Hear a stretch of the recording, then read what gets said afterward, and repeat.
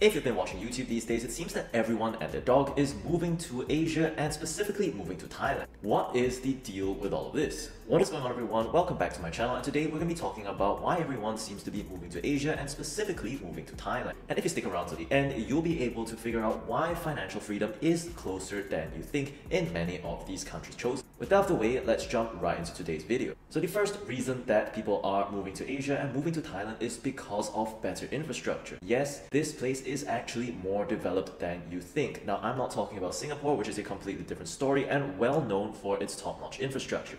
But compared to what we are seeing in the West these days, especially in places like the UK where trains simply don't run, and 4G was only just introduced on the latest train line underground, places like Thailand are actually more developed than you think. You'll be able to get access to first world standards of living pretty easily. For example, the malls here are pretty much the same as you would see in Singapore, especially if you are living around the Phrom Phong or Asok areas.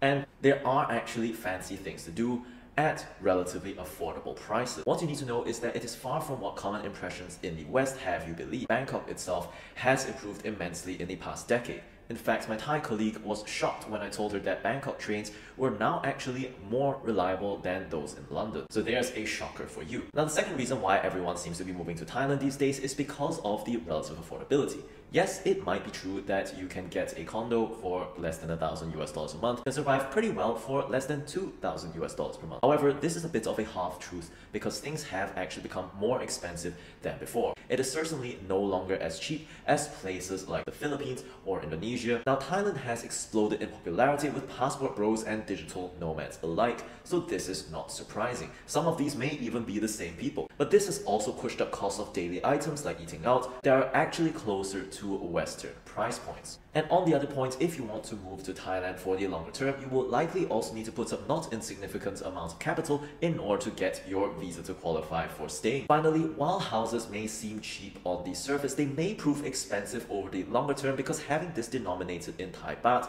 may be a point of weakness, especially given how the currency has been performing these days. There is a huge glut of supply. I myself was tempted to buy a place for something like 120k in cash, which could provide a refuge if everything in terms of business, income, and all of that stuff went into the toilet. While possible, it is not something that you want to count on for appreciation just due to the supply economics. Now, the third reason that everyone seems to be moving to Thailand these days is going to be the fact that people tend to be friendlier here, especially without all of the identity politics that you see in the West. Well, this has certainly been true and has been an eye-opener, especially when I compared it with where I came from, moving back from London. Now, I've actually been back here in Bangkok about three times since I've moved back, and every single time I do realize this difference. That being said though, if you were to choose to move here, especially if you do not already speak the language, you may find that loneliness remains a problem and you may also find yourself stuck in the expat community. While that may not be a bad thing, it really depends on what you want out of this whole experience. All in all, those have been three key reasons why everyone seems to be moving to Thailand these days. Now, if you want to find out why moving to this region of the world could potentially allow you to achieve financial independence early, then you're going to want to check out this video over here where we talk exactly about how much you need to actually live here. If you found this video informative and interesting, do consider leaving a like and subscribe to this channel.